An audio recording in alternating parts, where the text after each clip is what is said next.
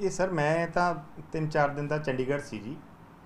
ਤੇ ਮੈਨੂੰ ਨਹੀਂ ਸੀ ਪਤਾ ਪਿੱਛੇ ਕੀ ਰੌਲਾ ਰੱਪਾ ਪੈ ਗਿਆ। ਮੇਰੇ ਕੋਲ ਤਾਂ ਕੱਲ ਜਦੋਂ ਨਿਊਜ਼ ਜਾਣ ਲੱਗ ਪਈ ਤੁਹਾਡੇ ਵਰਗੇ ਭਰਾਵਾਂ ਦੇ, ਮੈਂ ਉਹ ਦੇਖੇ।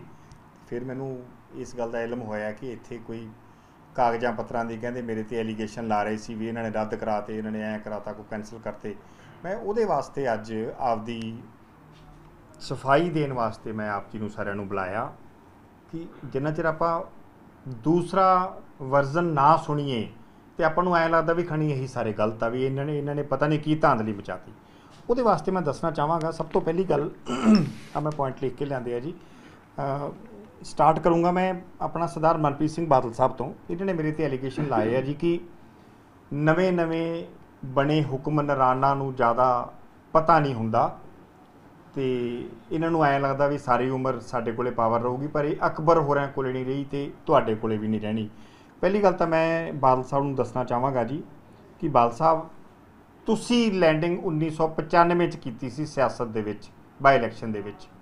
ਔਰ ਮੇਰੇ ਘਰ ਤੋਂ ਬੈਠ ਕੇ ਹੀ ਤੁਸੀਂ ਇਲੈਕਸ਼ਨ ਲੜਿਆ ਸੀ। ਅਸੀਂ ਤੁਹਾਡੇ ਨਾਲ ਹੀ ਰਹੇ ਹਾਂ ਜੀ 2010 ਤੱਕ। ਤੇ 1999 ਦੇ ਵਿੱਚ ਮੈਂ ਸਟਾਰਟ ਕੀਤਾ ਸੀ ਥੋਥੋਂ 6 ਸਾਲ ਪਹਿਲਾਂ ਸਿਆਸਤ ਦੇ ਵਿੱਚ ਮੈਂ ਆ ਗਿਆ ਸੀ। ਤੁਹਾਨੂੰ 30 ਸਾਲ ਹੋਏ ਆ ਸਿਆਸਤ ਦੇ ਵਿੱਚ 29 ਹੋਏ ਆ ਜੇ 30 ਵੀ ਨਹੀਂ ਹੋਏ। ਤੇ ਮੈਨੂੰ 38 ਸਾਲ ਹੋ ਗਏ ਜੀ, ਬਾਦਲ ਪਰਿਵਾਰ ਦੇ ਨਾਲ ਫਿਰਦੇ ਨੂੰ ਅਕਾਲੀ ਦਲ ਦੀ ਸਿਆਸਤ ਦੇ ਵਿੱਚ। ਮੈਂ ਹੁਣ ਛੱਡੀ ਆ। ਇਸ ਕਰਕੇ ਜਿਹੜੀ ਹੁਕਮਰਾਨਾਂ ਦੀ ਇਹ ਗੱਲ ਆ, ਤੁਸੀਂ ਇਹ ਨਾ ਮੈਨੂੰ ਸਮਝਾਓ। ਮੈਂ ਉਦੋਂ ਦਾ ਤੁਹਾਡੇ ਨਾਲ ਹੀ ਰਿਹਾ ਤੇ ਸਾਰੀਆਂ ਅਸੀਂ ਪਾਵਰਾਂ ਦੇਖੀਆਂ ਵੀ ਆ। ਐਸੀ ਕੋਈ ਗੱਲ ਨਹੀਂ ਵੀ ਮੇਰੇ ਕੋਲੇ ਹੁਣ ਨਵੀਂ ਨਵੀਂ ਆਈ ਆ। ਪਹਿਲੀ ਗੱਲ।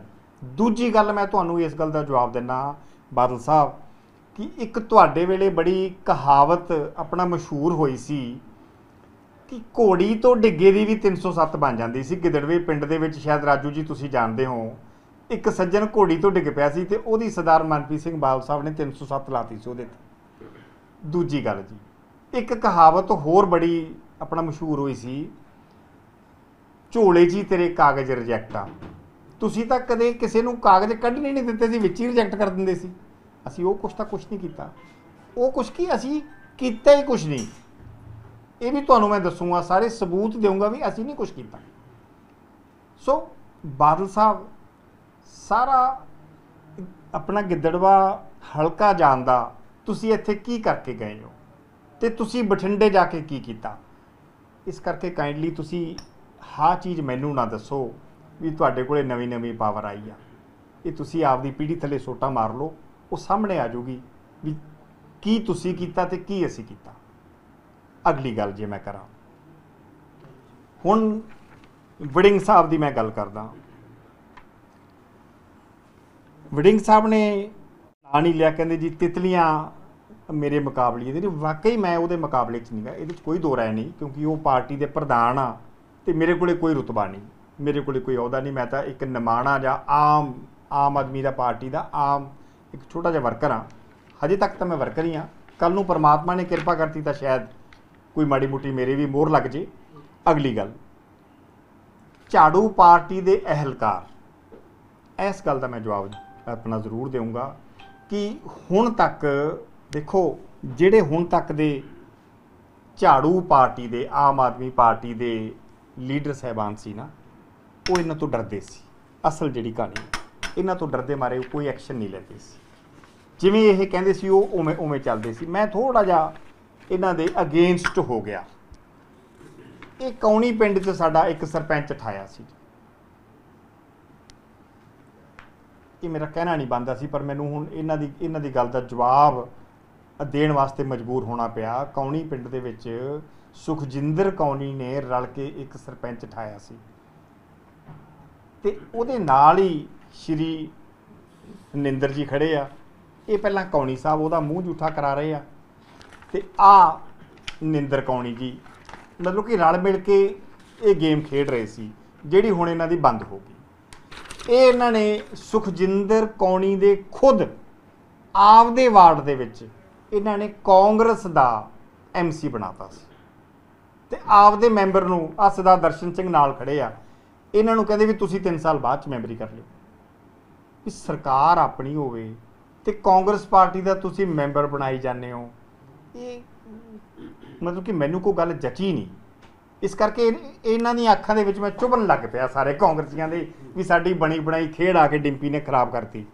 ਦੇਖੋ ਮੈਂ ਮਾਨ ਸਾਹਿਬ ਦੇ, ਸਰਦਾਰ ਭਗਵੰਤ ਸਿੰਘ ਜੀ ਮਾਨ ਸਾਹਿਬ ਦੇ ਹਾਜ਼ਰੀ ਦੇ ਵਿੱਚ ਇੱਕ ਕਸਮ ਖਾਧੀ ਸੀ ਕਿ ਜਿੰਨਾ ਚਿਰ ਰਹੂੰਗਾ ਤੁਹਾਡੇ ਨਾਲ ਪਾਰਟੀ ਦਾ ਵਫਾਦਾਰ ਬਣ ਕੇ, ਤੁਹਾਡਾ ਵਫਾਦਾਰ ਬਣ ਕੇ ਰਹੂੰਗਾ ਤੇ ਉਸ ਤੋਂ ਬਾਅਦ ਮੈਂ ਸਿਆਸਤ ਛੱਡ ਕੇ ਆਪਦੇ ਘਰੇ ਬਹਿ ਜਾਊਂਗਾ।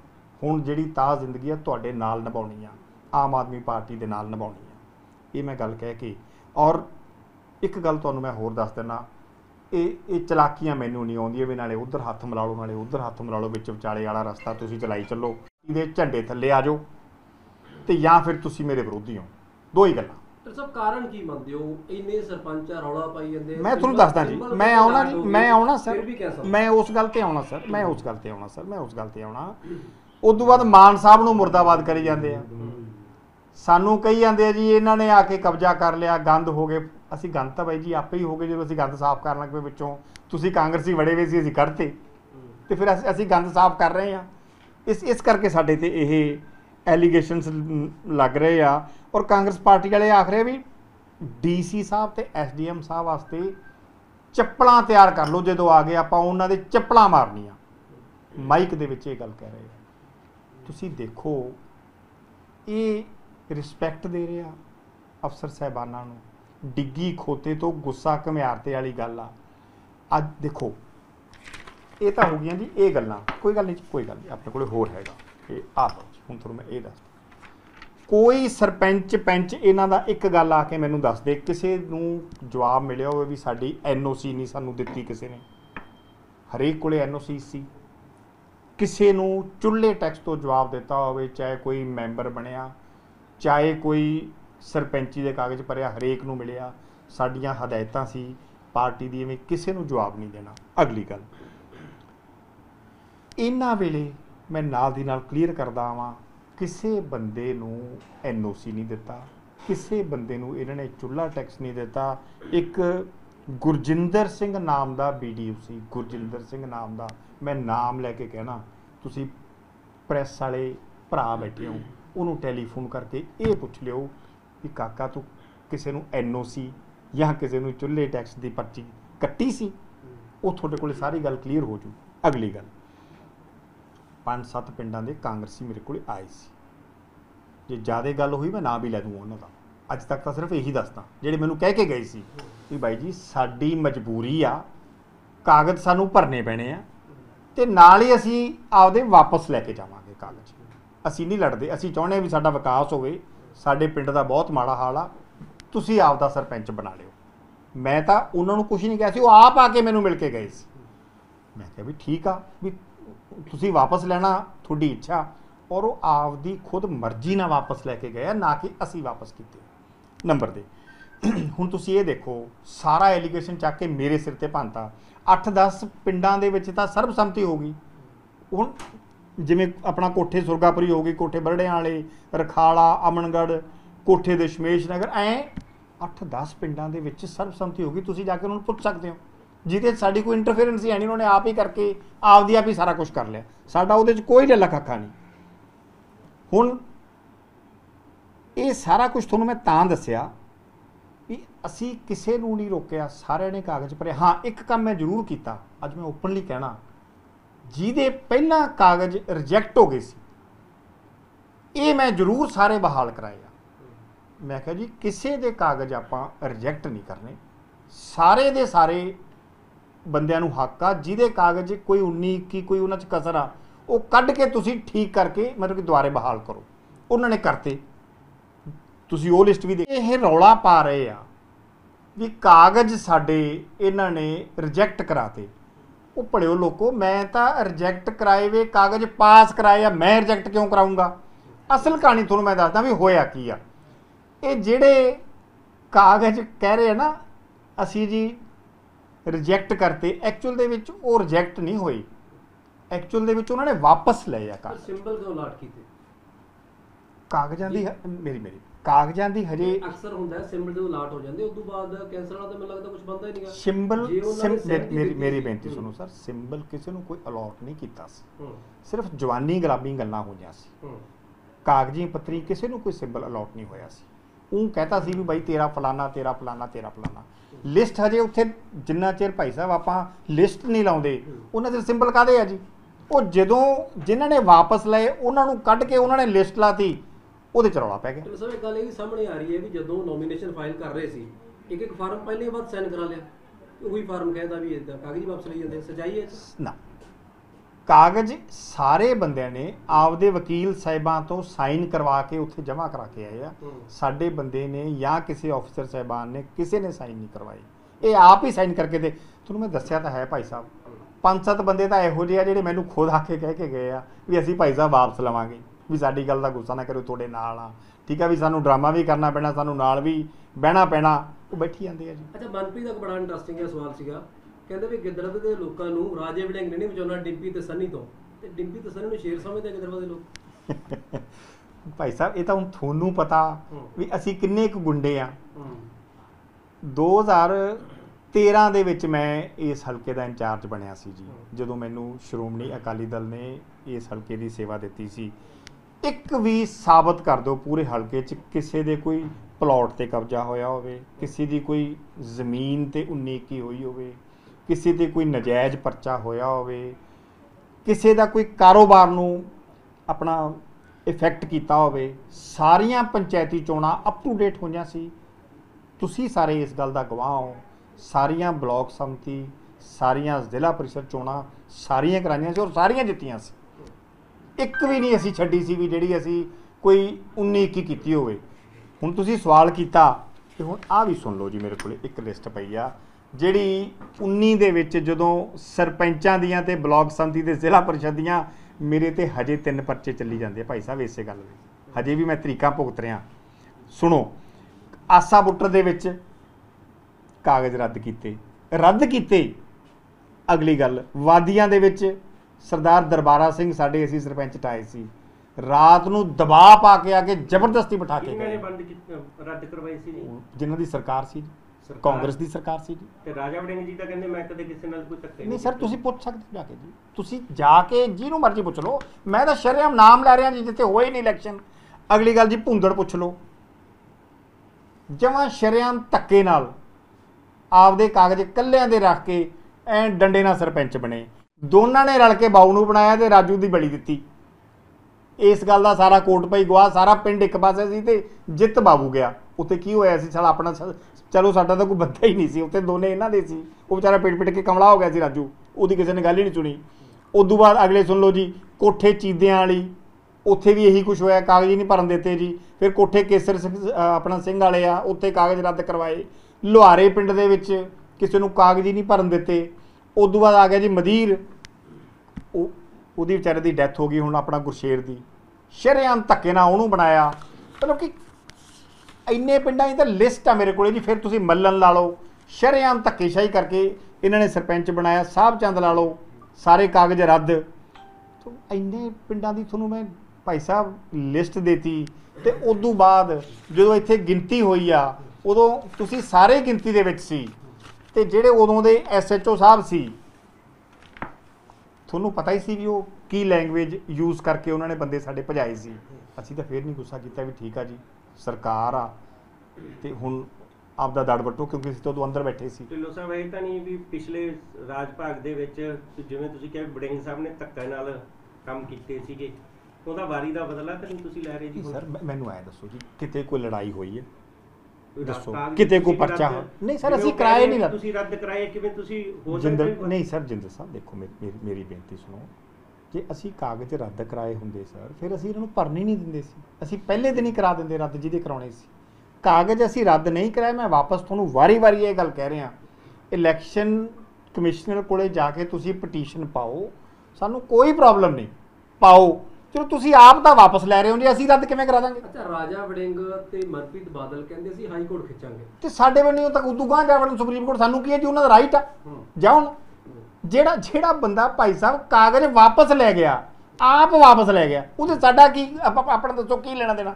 ਐਕਚੁਅਲ ਦੇ ਵਿੱਚ 29 ਕਿਹਾ ਜਾ ਰਿਹਾ ਜਿਸ ਤਰੀਕੇ ਨਾਲ ਕਹਿੰਦੇ ਵੀ ਧੱਕੇ ਨਾਲ ਬਣੇ। ਕਿੰਨੇ ਹੈਗੇ ਕਿੰਨੇ ਜਿਹੜੇ ਤੁਹਾਡੇ ਕੋਲੇ ਲਿਸਟ ਮੇਰੇ ਹਿਸਾਬ ਨਾਲ ਤਾਂ 10 11 ਕੁ ਹੋਣਗੇ ਜੀ ਆ ਪੰਜ ਛੇ ਤਾਂ ਭਾਈ ਸਾਹਿਬ ਤੁਹਾਨੂੰ ਮੈਂ ਆਪਣਾ ਗਨਾਈ ਦਿੱਤੀਆਂ ਜਿਹੜੀਆਂ ਸਰਬਸੰਮਤੀ ਹੋਈਆਂ ਇਹ ਉਹਨਾਂ ਨੂੰ ਵਿੱਚ ਹੀ ਦੱਬੀ ਆਉਂਦੇ। ਤੁਸੀਂ ਐਂ ਕਰਿਓ ਮੈਂ ਤੁਹਾਨੂੰ ਆਪਣੇ ਨੇੜੇ ਕਿਹੜੇ ਆ? ਰਖਾਲਾ ਪਿੰਡ ਆਪਣੇ ਨੇੜੇ ਆ।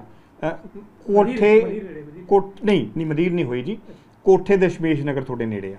ਲੋ ਦੋਨੇ ਪਿੰਡਾਂ 'ਚ ਜਾ ਕੇ ਤੁਸੀਂ ਇਹ ਪੁੱਛ ਲਓ ਵੀ ਮੇਰੀ ਕੋਈ ਇੰਟਰਫੇਰੈਂਸ ਸੀ।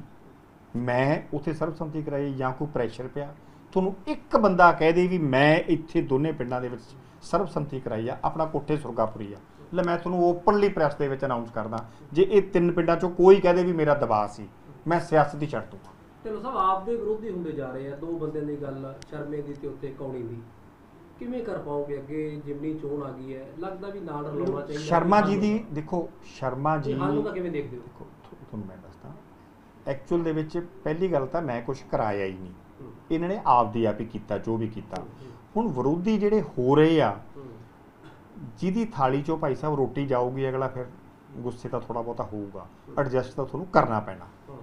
ਇਹ ਲੀਡਰ ਹਮੇਸ਼ਾ ਹਲਕੇ ਦੇ ਵਿੱਚ ਇੱਕੋ ਹੀ ਹੁੰਦਾ ਜੀ। ਪਹਿਲਾਂ ਆਪਣਾ ਸੁਖਜਿੰਦਰ ਕੌਣੀ ਜੀ ਸੀ। ਸੁਖਜਿੰਦਰ ਕੌਣੀ ਜੀ ਦੀ ਤੇ ਉਹਨਾਂ ਦੀ ਆਪਸ ਵਿੱਚ ਆਏ ਰਹੀ ਆ। ਓਪਨਲੀ ਕਹਿਣਾ ਮੈਂ ਤੁਹਾਨੂੰ। ਕਿਉਂ? ਕਿਉਂਕਿ ਉਹਨਾਂ ਦੇ ਉੱਤੇ ਸ਼ਰਮਾ ਜੀ ਲੀਡਰ ਲਾ ਕੇ ਸੀ। ਉਹਨਾਂ ਦੀ ਬੰਨ ਵਟ ਗਈ। ਹੁਣ ਉਹਨਾਂ ਦੋਨਾਂ ਦੇ ਉੱਤੇ ਉਹਨਾਂ ਨੂੰ ਲੱਗਦਾ ਵੀ ਮੈਂ, ਮੈਨੂੰ ਲੀਡਰ ਲਾਤਾ। ਹਾਲਾਂਕਿ ਮੈਂ ਅੱਜ ਵੀ ਤੁਹਾਨੂੰ ਓਪਨਲੀ ਕਹਿਣਾ ਵੀ ਦੇਖੋ, ਮੈਂ ਆਮ ਆਦਮੀ ਪਾਰਟੀ ਜੁਆਇਨ ਕੀਤੀ ਹੈ ਮੈਂ ਇਸ ਕਰਕੇ ਨਹੀਂ ਕੀਤੀ ਕਿ ਮੈਨੂੰ ਇੱਥੇ ਟਿਕਟ ਮਿਲੂਗੀ ਜਾਂ ਮੈਂ ਇਲੈਕਸ਼ਨ ਲੜੂੰਗਾ। ਮੈਂ ਅੱਜ ਵੀ ਓਪਨਲੀ ਕਹਿਣਾ। ਮੈਂ ਆਮ ਆਦਮੀ ਪਾਰਟੀ ਮੈਨੂੰ ਚੰਗੀ ਲੱਗੀ, ਅਸੂਲ ਇਹਨਾਂ ਦੇ ਸਿਸਟਮ ਮੈਨੂੰ ਵਧੀਆ ਲੱਗਿਆ, ਮੈਂ ਤਾਂ ਜੁਆਇਨ ਕੀਤੀ ਆ। ਮਾਨ ਸਾਹਿਬ ਦੀ ਪ੍ਰੇਰਣਾ, ਸਦਕਾ ਮੈਂ ਜੁਆਇਨ ਕੀਤੀ ਆ। ਤੇ ਮੈਨੂੰ ਟਿਕਟ ਨਾਲ ਕੋਈ ਮਤਲਬ ਨਹੀਂ, ਜੇ ਮੈਨੂੰ ਟਿਕਟ ਨਹੀਂ ਵੀ ਮਿਲਦੀ, ਜਿਹਨੂੰ ਵੀ ਪਾਰਟੀ ਟਿਕਟ ਦਿੰਦੀ ਆ, ਮੈਂ ਅੱਜ ਓਪਨਲੀ ਤੁਹਾਨੂੰ ਕਹਿਣਾ ਮੈਂ ਉਹਦੀ ਠੋਕ ਕੇ ਮਦਦ ਕਰੂੰਗਾ। ਪਹਿਲ ਮਿਆਜਾ ਦਾ ਬੁਲਾਓਗੇ ਪੈਸਾ ਦਾ ਢਿੱਲੋਂ ਸਾਹਿਬ ਢਿੱਲੋਂ ਨੂੰ ਸਾਹਿਬ ਕਿਤੇ ਕਿ ਮਿਆਜਾ ਦਾ ਭੁਗਤਣਾ ਪੈਸਾ ਨਹੀਂ ਜਿਸ ਤਰ੍ਹਾਂ ਮੈਸੇਜ ਜਿਹੜਾ ਉਹ ਜਾ ਰਿਹਾ ਜੀ ਵੀ ਇਹ ਕਾਗਜ਼ ਰੱਦ ਕਰਾਇਆ ਲੋਕਾਂ 'ਚ ਗਿੱਦੜਵਾ ਹਲਕੇ ਲੋਕਾਂ 'ਚ ਮੈਸੇਜ ਇਹ ਜਾ ਰਿਹਾ ਹੈ। ਪਹਿਲ ਕਰ ਰਹੇ ਉਹਨਾਂ ਦੋਵਾਂ ਨੂੰ ਇਕੱਠਾ ਕਰਨ ਦੀ ਇਨਵੀਟੇਸ਼ਨ ਹੀ ਦੇ ਦਿਓ ਚਲੋ ਮੀਡੀਆ ਜਰੀਏ ਆ ਜਾਓ ਯਾਰ ਬੈਠ ਜੀ ਇਕੱਠੇ ਹੋ ਜਾਓ। ਮੈਂ ਤਾਂ ਦੋਨੇ ਹੱਥੀ ਤਿਆਰ ਹਾਂ ਸਰ। ਦੇਖੋ ਪਾਰਟੀ ਮੈਂ ਨਹੀਂ ਕਹਿੰਦਾ ਵੀ ਤੁਸੀਂ ਆਪਣਾ ਮੇਰੇ ਨਾਲ ਲੱਗੋ। ਮੈਂ ਕਹਿੰਦਾ ਪਾਰਟੀ ਨਾਲ ਗਦਾਰੀ ਨਾ ਕਰੋ ਪਾਰਟੀ ਦੇ ਨਾਲ ਸਿੰਸੀਅਰਲੀ ਚੱਲੋ। ਮੈਂ ਤੁਹਾਡੇ ਨਾਲ ਆ ਤੁਹਾਨੂੰ ਪਾਰਟੀ ਟਿਕਟ ਦੇ ਦਿੰਦੀ ਆ ਮੈਂ ਓਪਨਲੀ ਅਨਾਉਂਸ ਕਰਦਾ ਚਾਹੇ ਪਾਰਟੀ ਟਿਕਟ ਆਪਣਾ ਸੁਖਜਿੰਦਰ ਕੌਣੀ ਨੂੰ ਦੇ ਦੇ ਚਾਹੇ ਪਾਰਟੀ ਟਿਕਟ ਆਪਣਾ ਸ਼ਰਮਾ ਜੀ ਨੂੰ ਦੇ ਦੇ। ਮੈਂ ਠੋਕ ਕੇ ਮਦਦ ਕਰੂੰਗਾ ਅੱਗੇ ਲੱਗ ਕੇ ਚੱਲੂੰਗਾ। ਕੀ ਚੋਣਾਂ 'ਚ ਪਾਰਟੀ ਡਿਸਪਲਿਨ ਨਹੀਂ ਸਮਝਦੇ ਸੀ ਮੈਂ ਸਮਝਿਆ ਨਹੀਂ ਥੋੜੀ ਗੱਲ। ਜਿਸ ਤਰ੍ਹਾਂ ਹੁਣ ਚੋਣਾਂ ਆਈਆਂ ਤੁਸੀਂ ਕਹਿੰਦੇ ਹੋ ਵੀ ਉਹ ਅਲੱਗ ਚੱਲ ਰਹੇ ਆ ਕਿ ਪਾਰਟੀ ਡਿਸਪਲਿਨ ਨਹੀਂ ਪਾਉਂਦੇ ਇਹ ਇਹ ਸਵਾਲ ਭਾਈ ਸਾਹਿਬ ਉਹਨਾਂ ਦਾ ਉਹਨਾਂ ਨੂੰ ਪੁੱਛੋ। ਮੈਂ ਤਾਂ ਡਿਸਪਲਿਨ 'ਚ ਹੀ ਚੱਲ ਰਿਹਾ। ਇਹ ਸਵਾਲ ਮੇਰਾ ਨਹੀਂ ਨਾ। ਇਹ ਸਵਾਲ ਉਹਨਾਂ ਦਾ ਉਹਨਾਂ ਨੂੰ ਪੁੱਛੋ। ਉੱਪਰ ਤਾਂ ਕਹਿਣਾ ਦੱਸੋਗੇ ਕਿ ਨਹੀਂ ਵੀ ਕਹਿਣਾ ਤਾਂ ਬੰਦ ਉਹਨੂੰ ਪਤਾ ਸਰ ਸਾਰਾ। ਉਹਨੂੰ ਸਾਰਾ ਪਤਾ। ਇਹ ਜਿਹੜੇ ਮੇਰੇ ਤੇ ਐਲੀਗੇਸ਼ਨ ਲਾ ਰਹੇ ਤੇ ਬੰਦੇ ਠਾਏ ਜਾ ਰਹੇ ਇਹ ਸਭ ਪਲਾਨਡ ਆ ਜੀ। ਐਕਚੁਅਲ ਦੇ ਵਿੱਚ ਕੀ ਆ ਕਿ ਬੰਦੇ ਪਲਾਨਡ ਕੀਤੇ ਹੋਏ ਆ ਕਾਂਗਰਸ ਪਾਰਟੀ ਦੇ ਵਿੱਚ। ਕਾਂਗਰਸ ਪਾਰਟੀ ਨੇ ਇਹਨਾਂ 'ਚ ਕੀਤੇ ਹੋਏ ਆ। ਉਹੀ ਆਪਣੇ ਲਾਲਾ ਲਾਲਾ ਕਰੀ ਜਾਂਦੇ ਆ। ਤੁਸੀਂ ਮੈਨੂੰ ਐਂ ਦੱਸੋ ਕੋਈ ਆਮ ਆਦਮੀ ਪਾਰਟੀ ਦਾ ਜਿਹੜਾ ਸਿੰਸੀਅਰ ਵਰਕਰ ਹੈ ਇੱਕ ਵੀ ਹੈ ਨਹੀਂ।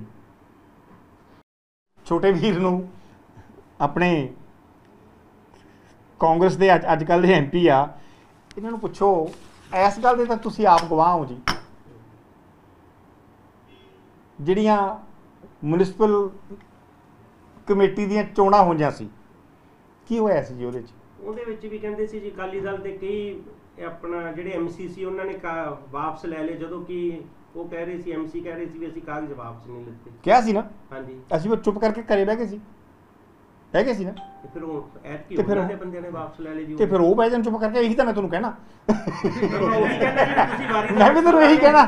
ਮੈਂ ਵੀ ਫਿਰ ਨਹੀਂ ਉਹੀ ਭਾਈ ਸਾਹਿਬ ਕਾਗਜ਼ ਤਾਂ ਕੋਈ ਵੀ ਵਾਪਸ ਲੈ ਸਕਦਾ ਨਾ। ਨਹੀਂ ਫਿਰ ਵਾਰੀ ਦਾ ਬੱਚਾ ਤਾਂ ਲੈ ਗਿਆ ਨਹੀਂ ਅਸੀਂ ਚੁੱਪ ਕਰਕੇ ਘਰੇ ਹੀ ਬੈਠੇ ਸੀ ਨਾ ਜੀ। ਨਹੀਂ ਫਿਰ ਮੈਂ ਤਾਂ ਇਹੀ ਪੁੱਛਣਾ ਵੀ ਹੁਣ ਕਿਉਂ ਸੜਕ ਤੇ ਪਏ ਹੋ ਭਾਈ ਸਾਹਿਬ? ਢਿੱਲੋਂ ਸਾਹਿਬ ਗਿੱਦੜਵਾ ਸਾਡੇ ਵੀ ਤਾਂ ਆਰਾਮ ਨਾਲ ਚੁੱਪ ਕਰਕੇ ਘਰ ਨੂੰ ਜਾ ਵੜੇ ਸੀ। ਜਿਵੇਂ ਉਹਨਾਂ ਨੇ ਬਾਈਕਾਟ ਕਰਤਾ ਸੀ ਜੀ ਤੁਸੀਂ ਫਿਰ ਇਹਦਾ ਮਤਲਬ ਉਹਨਾਂ ਨੂੰ ਵੀ ਕਰਨਾ ਚਾਹੀਦਾ। ਬਿਲਕੁਲ ਕਰਨਾ ਚਾਹੀਦਾ ਜੀ ਮੈਂ ਤਾਂ ਕਹਿਣਾ ਉਹ ਕਰਨ ਬਾਈ ਆਪਣਾ ਬਾਈਕਾਟ ਕਰਕੇ ਆਰਾਮ ਨਾਲ ਘਰੇ ਬੈਠਣ ਜੀ। ਕਹਿ ਦੇਣ ਇਹ ਉਹਨਾਂ ਦਾ ਰਾਈਟ ਆ ਜੀ ਕਰ ਦੇਣ ਅੱਜ ਕਰ ਹੀ ਦਿੱਤਾ ਸੀ। ਵੀ ਸਾਨੂੰ ਜਿੱਤਣ ਤਾਂ ਇਹਨਾਂ ਇਹਨਾਂ ਨੇ ਦੇਣਾ ਨਹੀਂ ਜੀ ਜੋ ਇੰਨਾ ਧੱਕਾ ਕਰੀ ਜਾਂਦੇ ਚੁੱਪ ਕਰਕੇ ਨਹੀਂ ਜਿੱਤਣ ਦੇਣਾ ਜੀ ਉਹਨਾਂ ਨੂੰ। ਨਹੀਂ ਅਸੀਂ ਤਾਂ ਦੇਖੋ ਅਨਾਉ ਇਲੈਕਸ਼ਨ ਕਰਾਵਾਂਗੇ ਫੇਰ ਇਲੈਕਸ਼ਨ ਕਰਾਵਾਂਗੇ। ਜਿਹਦੇ ਕੋਲੇ ਵੋਟ ਵੱਧ ਹੋਈ ਉਹ ਜਿੱਤੂਗਾ ਜਿਹਦੇ ਕੋਲੇ ਨਾ ਵੋਟ ਹੋਈ ਉਹ ਹਾਰ ਜੂਗਾ ਹੁਣ ਜਿਹੜੇ ਵਾਪਸ ਲੈ ਗਏ ਜੀ ਉਹਨਾਂ ਦਾ ਮੈਂ ਕਿਵੇਂ ਇਲੈਕਸ਼ਨ ਕਰਾਵਾਂ ਦੱਸੋ। ਢਿੱਲੋਂ ਸਾਹਿਬ ਇਹ ਕੱਲੇ ਕਾਂਗਰਸ ਸੰਘ ਨਹੀਂ ਵਾਪਸ ਕਿਉਂ ਕ- ਪਿੰਡ ਤਾਂ ਕਾਫੀ ਹੋਰ ਵੀ ਹੈ ਜਿੱਥੇ ਕਹਿੰਦੇ ਵੀ ਡੈਂਪੀ ਢਿੱਲੋਂ ਦੇ ਬੰਦੇ ਬਣੇ ਨੇ ਜਿਹੜਾ ਇਲਜ਼ਾਮ ਮਚ ਰਿਹਾ। ਦੂਜੇ ਪਿੰਡਾਂ 'ਚ ਫਿਰ ਕਿਉਂ ਨਹੀਂ ਵੀ ਦੂਜੇ ਵਾਪਸ ਲੈ ਉੱਥੇ ਵੀ ਲੈ ਸਕਦੇ ਸੀ ਨਾ ਜੀ? ਸੁਣੋ।